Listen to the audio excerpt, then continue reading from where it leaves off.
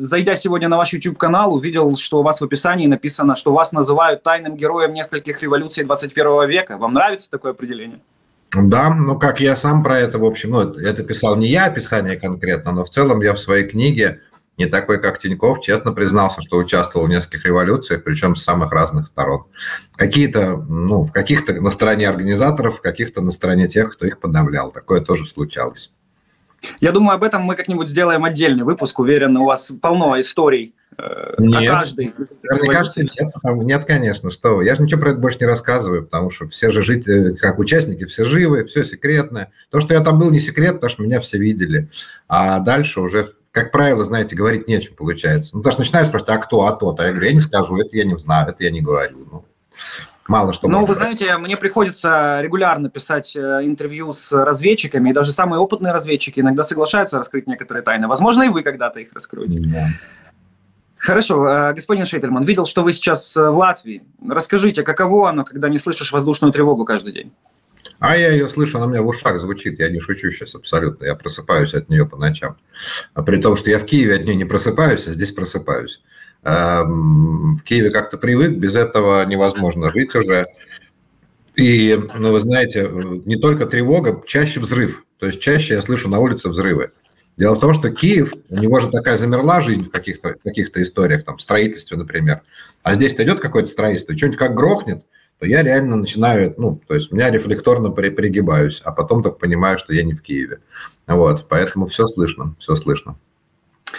Господин Шетельман, будем переходить к обсуждению повестки дня. Подготовка к избранию Владимира Путина на новый президентский срок в Кремле идет полным ходом. С вами, как с политтехнологом, как раз особенно интересно это было бы обсудить. Вот э, пресс-секретарь Путина Песков значит, в свежем интервью заявил, что гибридная война против России будет продолжаться еще долго. Поэтому, цитирую, «россияне должны объединиться вокруг Путина. Ну а ранее, как сообщали кремлевские СМИ, вот политтехнологи э, московские выбрали для Путина такую стратегию, значит, что образ хранителя традиционных ценностей. Вот это вот объединение вокруг Путина в противовес э, войне со стороны Запада. Хранитель традиционных ценностей Владимир Путин. Как вам такая политтехнологическая стратегия, как бы вы ее оценили?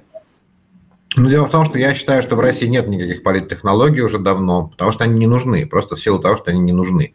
Когда ты можешь нарисовать себе любой результат, когда ты можешь просто посадить любого, кто призывает голосовать против тебя, то каких черт политтехнологий? Они были, безусловно, работали и были нужны Путину там в первый срок, во второй срок, возможно.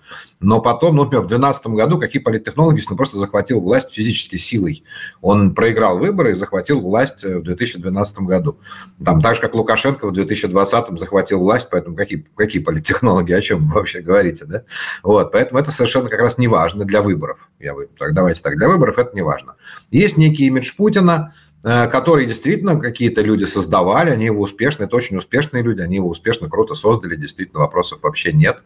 Но сегодня то, что делает Песков, оно э, даже, как бы, как сказать, это даже излишние усилия в каком-то смысле. Мне кажется, что россияне и так объединены вокруг Путина в значительной степени. Я не вижу никаких проблем там у Путина. Ну, избираться ему не надо, потому что, опять-таки, я говорю, никто не будет считать бюллетени, это наплевать абсолютно всем.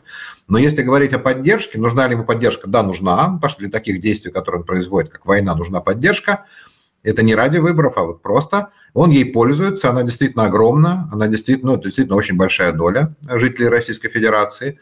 И я думаю, что они согласны на любые шаги Путина. Вот просто вот на любые. В том смысле, что если Путин завтра скажет, мы сегодня утром наносим ядерный удар по Польше, то большинство населения России скажет, да, обязательно, конечно, полностью поддерживаем. Это будет искренний ответ. Я сейчас не про какие-то фейковые исследования. Вот, поэтому да, политтехнологи, пожалуй, ну, какие-то маркетологи нужны, но вот не для выборной кампании, а вот скорее для ведения войны, для поддержки войны. Так и зачем ему эта поддержка? Если нужно будет мобилизовать еще определенное количество людей, их и так мобилизуют с поддержкой или без? Э, не совсем так. Если эта поддержка растеряется, я не говорю, что она почему-то... У нее нет пока никаких э, причин, чтобы теряться этой поддержки. Когда у тебя нет поддержки, первое – ну вот действительно, например, ты не можешь делать все, что захочешь. Вот сегодня Путин может сказать, хочу еще миллион человек, и ему соберут еще миллион человек. Если бы поддержки не было, он сказал, я хочу миллион человек, это могло бы он бы взвесил тысячу раз. Блин, а это приведет к таким последствиям. Сиким. Здесь я потеряю это, здесь то. Эти поедут отсюда, силовики меня бросят, эти кинут. Ну, то есть миллион вопросов. Сейчас вопросов нет. Просто что хочу, то и ворочу. Поэтому он, в принципе, может принимать любые решения внутри Российской Федерации. Вот он может принимать решения, те, которые зависят от него. Он думал, что он может принимать решения во всем постсоветском пространстве. Он искренне так думал. Он думал, я могу еще захватить любой город бывшего СССР. А оказалось, что не может. У него вот нет таких возможностей. Но внутри России, конечно, любые решения. Если он завтра скажет сжечь Биробиджан, не знаю, просто сжечь город Биробиджан, ну, его сожгут. Все, вообще не будет вопросов.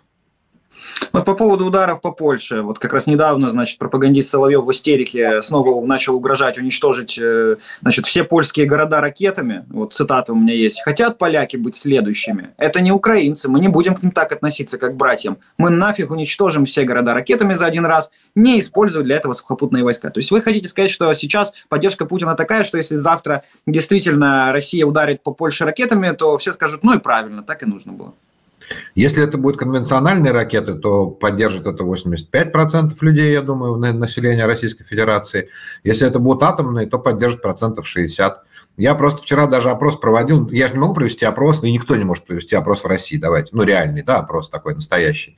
Поэтому я проводил опрос субъективных мнений, называется. Вот у меня где-то там в онлайн-режиме, там, при там, не знаю, 10 тысяч меня человек смотрит обычно, скажем, из них 2 тысячи это из России. И я спросил, я просил писать только тех, кто находится внутри Российской Федерации, сейчас там живет, по их субъективному мнению, потому что как я могу еще, вот у меня есть, грубо говоря, 2000 агентов, да, по вашему субъективному мнению, вот вы видите вокруг себя людей, большинство поддержит такое или большинство не поддержит ядерный удар по Польше? То есть если будет простой вопрос, честный, да, вот честный вопрос, вы поддержите, если Путин вот решил, что надо? Вот 50 на 50 разделились мнения. Соответственно, я решил для себя, то есть причем 50% вот моих опрошенных сказали да, большинство скажет да. Это люди в России. Поэтому я считаю, что где-то вот, ну, наверное, 50-60% россиян поддержат такое да. Ну, тут надо еще делать оговорку, что, скорее всего, э, прям радикально прокремлевски настроенные люди вряд ли э, смотрят э, вас на регулярной основе. Конечно. Да, то есть эта цифра Они... может быть еще больше. Алексей, они не про себя отвечали, они отвечали, я же не говорю, что что вы поддерживаете ли, э, что по-вашему вот у вас в городе, вот там, где вы общаетесь, вот такое, естественно. Это люди в среде, они там живут как-то, то есть всяко они не, не президенты и не мэры городов, это какие-то люди, которые, не знаю, учителя, врачи, вот условно говоря, средний класс какой-то российский. Ну а вообще тоже с точки зрения политтехнологии, вот то, что так часто с э, экранов российской пропаганды, ну вот звучат вот эти вот вообще, э, допускается возможность вот таких вот ударов по городам э, Восточной Европы, да и не только Восточной Европы. Это ли не стоит ли такая задача там приоткрыть окно Авертона сильнее для того, чтобы в какой-то момент, когда это действительно может произойти, это уже не вызвало такого, ну, отторжения? Может такая задача действительно перед пропагандистами стоять? Я, к сожалению, думаю, что все хуже, чем мы, чем мы предполагаем в своих плохих прогнозах. Дело в том, что я считаю, что Путин, скорее всего, имеет такой план. У него есть план ядерных, нанесения ядерных ударов. Иначе бы он не стал перемещать э, ракеты там, в Беларусь, потому что именно по востоку, я имею в виду по каким-то странам Восточной и Западной Европы. Если бы он пытался нанести удар по Украине, он бы мог это сделать с территории России, ему бы ничто не помешало. Вот это продвижение вперед ядерных э, боезарядов, оно нужно, чтобы наносить успешные удары там, по Польше, по Берлину и так далее. Вот. И потому что в Польше ПВО, причем еще и ПРО, вот это современное, наверное, самое современное, что есть в мире, вот просто самое современное, что есть в мире, это находится в Польше.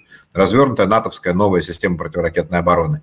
И, конечно, ее пробить будет достаточно сложно россиянам. Поэтому бить нужно не из там, условной Москвы, а вот так, чтобы прямо с границы. Тогда все это сразу резко упрощается при помощи баллистических ракет, которые уже в Беларуси находятся. Да? Вот. Э, я думаю, что, к сожалению, это его план. И, к сожалению, его нужно, если мы его не остановим, мы в данной ситуации, это вот не мы с вами и не Украина, а весь цивилизованный мир, а, возможно, даже и Китай, то я не говорю, что это план на завтра, я не знаю, понятия не имею на когда, но имеется в виду, это часть его плана по покорению мира. Просто часть его плана по покорению там, Европы как минимум. Он понимает, он, кстати, говорил накануне еще войны, что в традиционном вооружении мы проигрываем НАТО, но в ядерном мы у него выигрываем. Поэтому он объяснил, мы будем воевать ядерным оружием. Он это говорит много раз. И давайте так, вы говорите слово пропагандисты, но ведь если вспомнить, об этом говорили государственные деятели, не пропагандисты. Когда говорит пропагандист, можно это списать, ну, мало ли, он там журналист, у него свое мнение, у нас тут свобода слова. Я сейчас имею в виду серьезный западный политик, не может сказать, а вот у вас Соловьев сказал так-то, поэтому мы сейчас вам по Москве жахнем. Он так не может сказать. Но когда это председатель Государственной Думы, председатель Совета Безопасности, заместитель секретаря Совета Безопасности, члены правительства, и если перечислить, я вот вспоминал список городов, стран, которые они называли как потенциальные цели, только государственные деятели, прошу заметить сразу, не Соловьевы, не Симонян. Кроме США и Великобритании, там еще Германия, э, Нидерланды, Бельгия, Литва, Латвия, Польша. Это вот то, что на скидку, Украина, естественно. Это то, что вот прямо на вскидку вспомнилось. И тут, внимание, возникает такая штука. Дело в том, что э, есть закон, ну, не закон, извините, договор Конвенции о нераспространении ядерного оружия 1968 года, на основании которой, собственно, у Украины нет ядерного оружия, у других стран, вот у стран перечисленных, давайте так, у Польши, у, Брита... у Бельгии, Голландии, Латвии и Литвы на этом основании нет ядерного оружия. И у Германии, кстати, которые тоже угрожали напрямую ядерным именно оружием. Так вот, согласно этой конвенции, если какая-либо из ядерных стран, официальных, из пяти, то есть вот Россия в данном случае, угрожает, прошу заметить, не наносит удар, а угрожает какой-нибудь безъядерной державе, то остальные четыре должны нанести удар по ней. Называется «остановить эту агрессию силовыми методами, не дожидаясь решения ООН». Там это прям все прописано, понимаете? После этого они должны дождаться решения ООН, но сначала остановить эту агрессию. Вот в такой мы сейчас стадии-то находимся на самом деле. То есть это все достаточно далеко продвинулось. Пока они угрожали США, это было легитимно, но они угрожают безъядерным державам.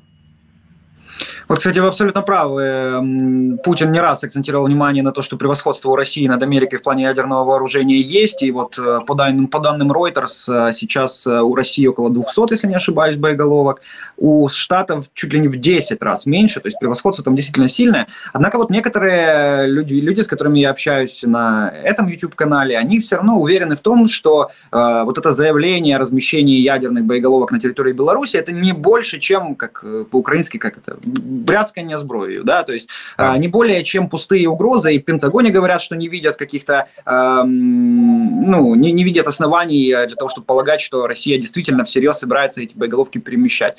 Вы думаете, все все-таки серьезнее, чем просто сотрясание воздуха?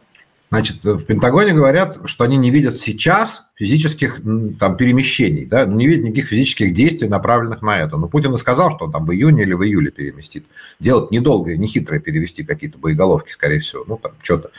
Вот, поэтому они пока этого не видят, но пока не видят, потом увидят. Я почему? Мне кажется, мы должны верить Путину. Вот прям мы должны, вот мы в украинцы, как мы можем в Украине не верить Путину? Он нас ни разу не обманул. Он сказал, что начнет против нас войну и начал. Он сказал, что будет бомбить мирные города, что будет бомбить инфраструктуру, и бомбил инфраструктуру. Он сказал, что будет убивать, убивает, там, уничтожает. Все, все он делает, понимаете? Поэтому раньше, год назад, ну, год с небольшим назад, можно было говорить, да нет, это он блефует, это он на самом деле не такой, это все такая операция, спецоперация. Тут все неправильно, все не так. И это говорили почти все в мире, да, до февраля, ну, не до 24 раньше там хорошо Байден начал говорить, что все будет война. Но до этого все говорили, не, не что вы, Путин, он же не человек войны, а Путин он такой. Сейчас почему не верить? Вот почему? Это же как бы капитан очевидность. Человек говорит, я начну ядерную войну, а мы говорим, да не, он, он что вы? Он говорит, я не блефую. Он сказал со сцены, я не блефую. А мы, да нет, а что, чего мы напрягаемся? Господи, подумаешь, ядерная война. Всяко врет. Только знаете, прошлый раз, когда не верили, не верили, да, что он начнет войну, э, только одно чудо э, спасло вот Украину, например, что она существует до сих пор – что наши вооруженные силы вот как-то сумели, я не знаю, но как-то сумели продержаться первые месяцы до того, как к нам стало поступать там какое-то западное оружие. Но это было чудо, по большому счету. И держались на последних снарядах. Это сейчас все уже говорят, что ничего не было. И Запад, пока Запад собрался, пока Запад подумал, почесал в носу, решил, что да, все-таки будем помогать. А тут, извините, удары будут по западным странам, по странам НАТО. И у них будет не три месяца, которые им дало ВСУ на размышления, а 12 минут. Вот они готовы сегодня наносить ядерный удар ответный по всем городам Российской Федерации? Или они будут сидеть и говорить, не, ну эти ракеты он послал, вот мы видим, что они летят, но у нас нет оснований предполагать, что они атомные. Вот, скорее всего, они там пустые наверняка. Или они в последнюю секунду развернут и улетят э, в Антарктиду. Вот они так будут делать? Что-то у меня как бы сомнения во всем этом. Мне кажется, что... И тут важно, что Китай он в той же лодке с американцами, не с Россией в данной ситуации. Мне чуть ли в, в Китае даже больше про это понимают. Э, друзья, обязательно напишите ваше мнение по этому вопросу в комментариях. Очень много разных мы слышим точек зрения. Хотелось бы услышать и вашу. Михаил, давайте продолжим, пожалуйста, по внутренней российской политике. Заговорили уже о пропагандистах мы немного. Вот еще хотел бы одно заявление обсудить, которое меня лично очень поразило. Значит, Маргарита Симоньян, предложила купить у Украины оккупированные территории за деньги, которые заморожены на Западе. Значит, мол, пускай страны Запада отдадут эти замороженные российские активы Украине значит, на восстановление, на откуп, а Киев за, значит, признает э, за Россией захваченные территории. Что это за изменение в риторике такое? Что это за предложение? Это личная точка зрения той же Симоньян или мы, ну, мы можем понять, что действительно такая идея предложить такое Западу существует в Кремле? Да, на 100% существует. Э, я впервые эту идею услышал, вы будете не поверить, в 2014 году. В 2014, вот прямо после оккупации Крыма, уже летом, мне люди из Москвы говорили, ну, понятно, что они мне не предложение делали, я же не переговорщик, да, я даже тогда не в Украине был. Слушай, а как ты думаешь, вот если мы предложим, ну мы опять это не они лично, а в смысле, вот если мы предложим все-таки как-то задним числом сейчас оформить это как покупку Крым, потому что мы понимаем, что проблема, у них уже тогда возникли проблемы с бизнесом, реально, из-за санкций сразу какие-то. И вот они мне говорили, что а вот если бы мы сейчас предложили деньги, как ты думаешь, вот согласились бы на Западе на то, что мы как-то выплачиваем там, вот, и то, они тогда говорили, ну, мы понимаем, что это сотни миллиардов долларов. Вот так вот они говорили. То есть, заметьте, сейчас цена за, за 8 лет ничего не подорожала, за 9 лет уже. Тоже сотни миллиардов долларов, об этом идет речь. Поэтому, если уж тогда такие мысли были у высокопоставленных достаточно, это не чиновники, это, я имею в виду сейчас такой олигархат, скажем так, если у них были такие мысли на эту тему, что это вот так легко можно сделать как-то, ну, скорее всего, можно. Они предполагали, что можно. Но сегодня уже нельзя. Вот тогда, кстати, у меня не было для них вот стопроцентного ответа «нет». Стопроцентного не было. А сегодня он стопроцентно отрицательный, естественно, в любой ситуации по понятным причинам, потому что все это уже вопрос крови, а не земли, да, потому что это вопрос, что кровь вот не продается тех, кто погиб за все это уже ни в каких раскладах это невозможно, а россияне, да, считают, что это возможно, это их компромисс, это компромисс, на который они готовы идти, называется.